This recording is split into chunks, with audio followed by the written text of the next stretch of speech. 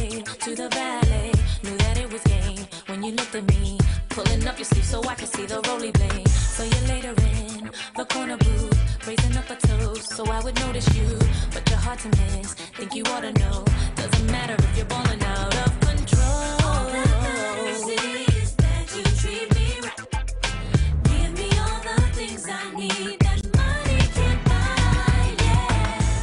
Oi, gente, muito boa noite. Sejam bem-vindos aqui à nossa casa. O Dia das Mães está chegando e é claro que o Papo VIP não poderia perder a oportunidade de fazer uma homenagem às mamães de todo o país. Então, fique conosco e absorva toda essa energia de carinho, respeito e muito amor.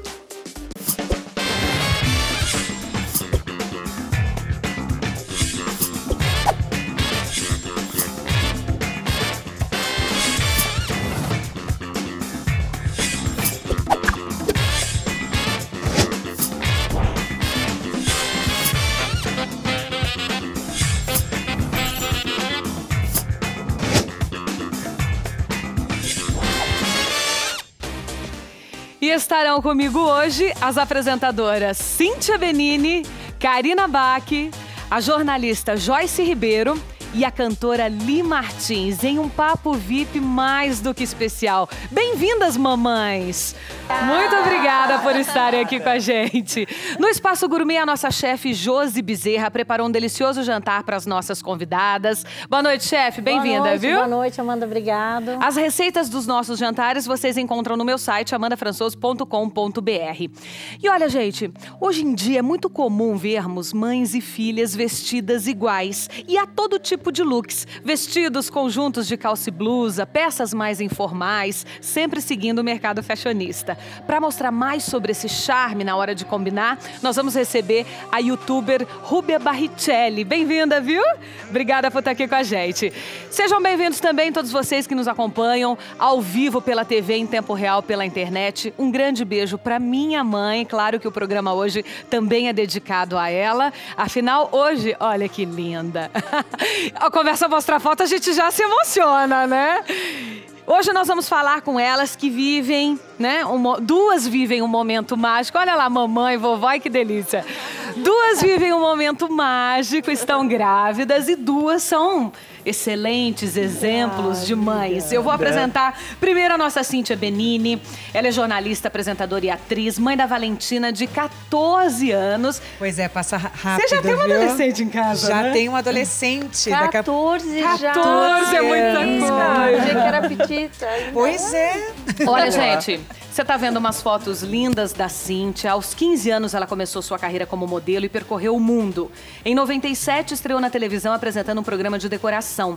Participou de diversas novelas. Foi contratada por 14 anos pela SBT, onde esteve à frente dos principais telejornais. Agora, no primeiro semestre, esteve na Europa produzindo conteúdo e recentemente acabou de voltar do Xingu, onde documentou a cerimônia do Quarupi e o trabalho na execução da primeira casa da mulher indígena. Ela tem muita história para contar pra gente, né? Bastante.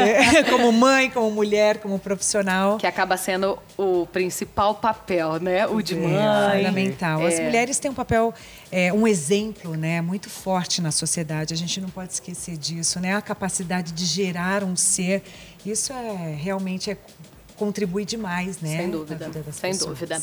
Nossa querida Joyce Ribeiro, jornalista, escritora, apresentadora, é mãe da Maria Luísa, de 5 anos, e da Lorena, de um aninho, casada com o engenheiro Luciano Machado. Começou sua carreira na televisão em 98, na Boa Vontade TV da LBV, em que atuou como produtora e repórter.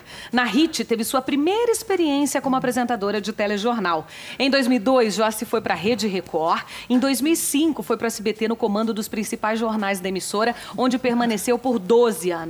Em 2016, lançou o livro Chica da Silva, Romance de uma Vida, pela editora Planeta.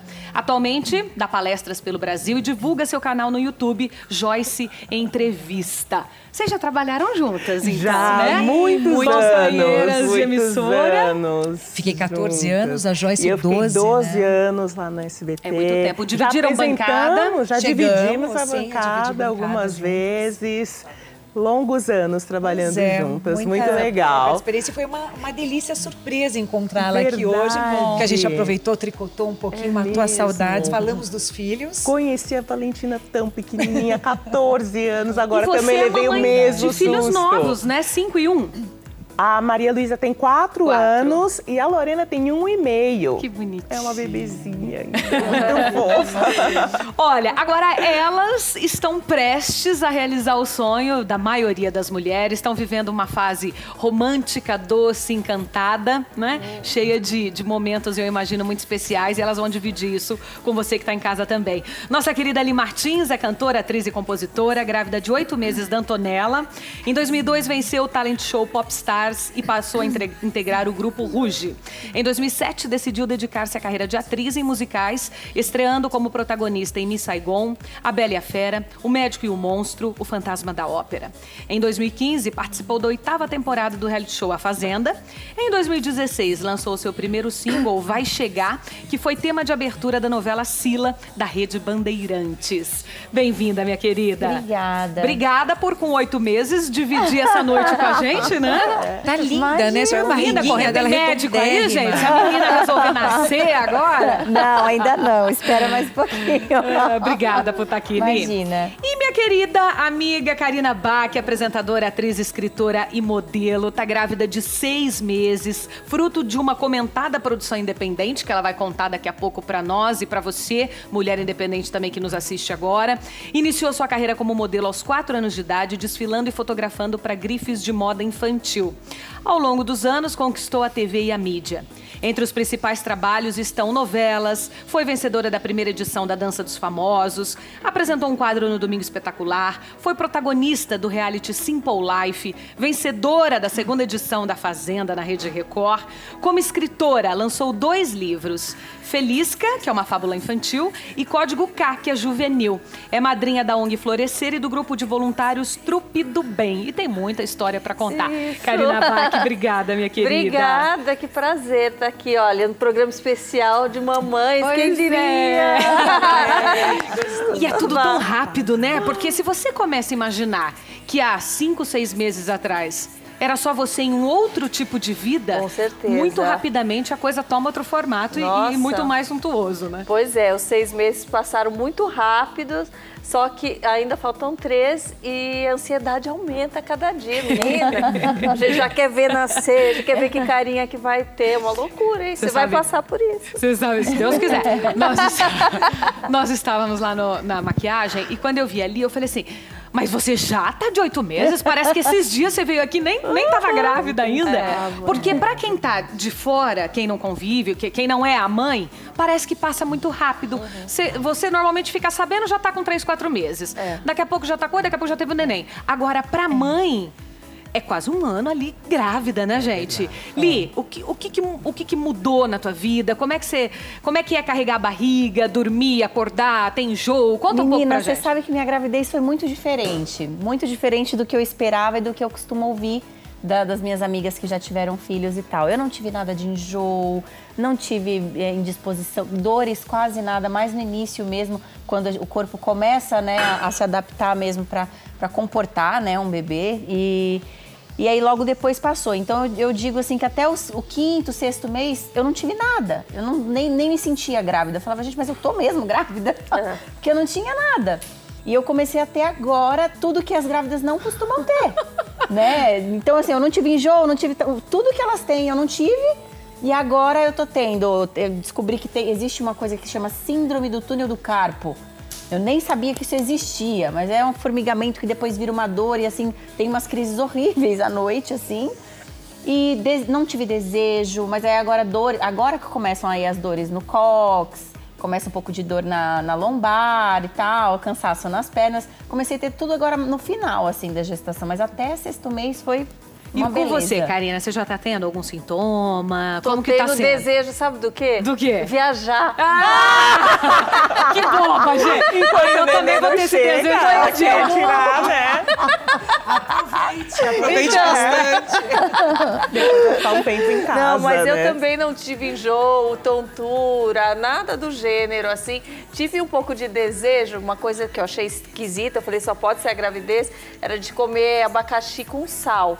Olha. É, comi bastante, daí passou. Um desejo. Agora Um desejo bem fit, né, gente? Não, se bem que muito sal não é né? muito É, sem dúvida. Mas tá certo, melhor do que comer panelas de brigadeiro, Não é? né? Não é? Você que ah, antes de, de engravidar tava numa fase assim de, de exemplo de modelo fitness quase, né? Corpo trincadaço, super. Como que tá sendo pra você essa mudança de corpo? Olha, foi esquisito. Tá sendo diferente, porque no começo você não tem a barriga redondinha ainda de grávida, né? Então eu fui ficando meio quadrada, meio sem cintura, meio esquisita. Falei, gente, é é isso que é a gravidez? Eu achei estranho. Eu achei estranho e também não sentia nem, nem mexer. Então eu queria fazer ultrassom quase toda semana para ver que ele estava lá, tudo certinho, sabe?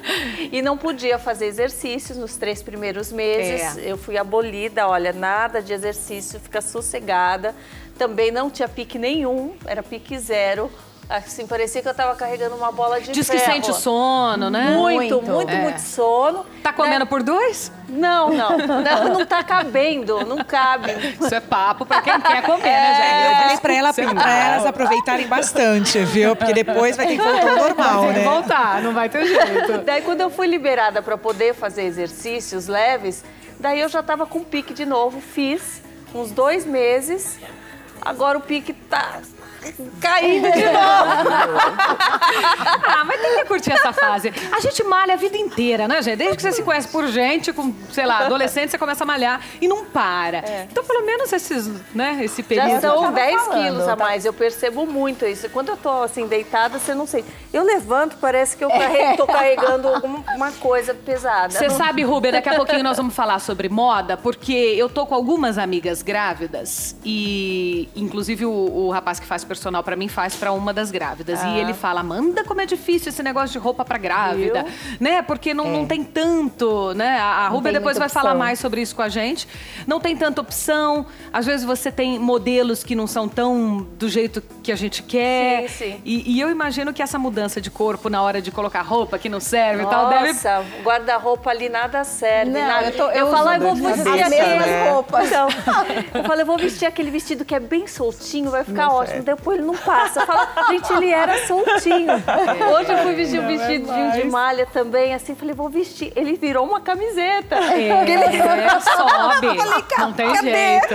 Olha, nós estamos ao vivo, são 21 e 17 para todo o país, pela TV e, como eu disse a vocês no início do programa, em tempo real pela internet, através do site rbtv.com.br. O tema é o nosso especial de Dia das Mães, então você, mãe que está do outro lado, sinta-se homenageada, né? Sinta todo o nosso carinho aí da sua casa. E é claro que na volta, eu quero perguntar para elas, porque assim, tem aquela menina que nasce querendo ser mãe. Ela nasce brincando de boneca, é o sonho da vida dela, doida logo pra casar e ter filho. Tem aquela mulher que primeiro se realiza profissionalmente e deixa a gravidez pra mais tarde. Tem aquela que diz que realmente não quer ter filhos e quando acontece, ama. Então nós vamos saber que tipo de mulher nós temos aqui entre as nossas convidadas. Combinado? Combinadíssimo. Ainda tem gastronomia, moda e você que é sempre meu convidado. Intervalo, até já.